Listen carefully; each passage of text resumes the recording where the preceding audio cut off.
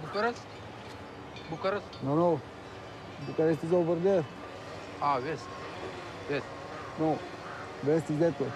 A Mágneses Rezonancia című román-francia-belga-svéd koprodukcióban készült alkotás érdemelte ki a legjobb filmnek járó Aranytorony díjat az Európai Filmek 29. Palicsi Fesztiválján.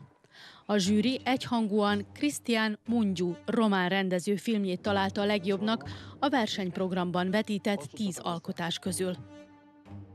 Film Magnetna rezonanca je veoma složen i potrezan prikaz pukotina u društvu izazvanih kapitalizmom i migracijama.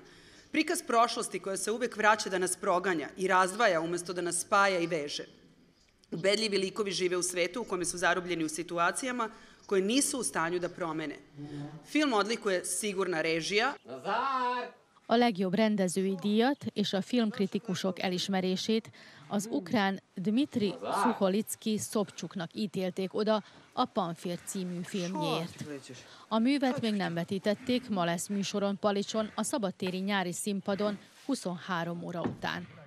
Külön díjba részesítették a Szelíd című magyar film két rendezőjét is, Csúlya Lászlót és Nemes Annát. Rossz tanulom, Ritaból, aztán a propán, Zbog režije sa iskazanim velikim talentom i osjećajnošću, kao i za kreiranje nežnih i dirljivih trenutaka u svetu koji zahteva savršenstvo uz nemoguće žrtve, žiri je odlučio da dodali specijalno priznanje rediteljskom dvojicu filma Nežno, Ani Nemeš i Laslu Čuji.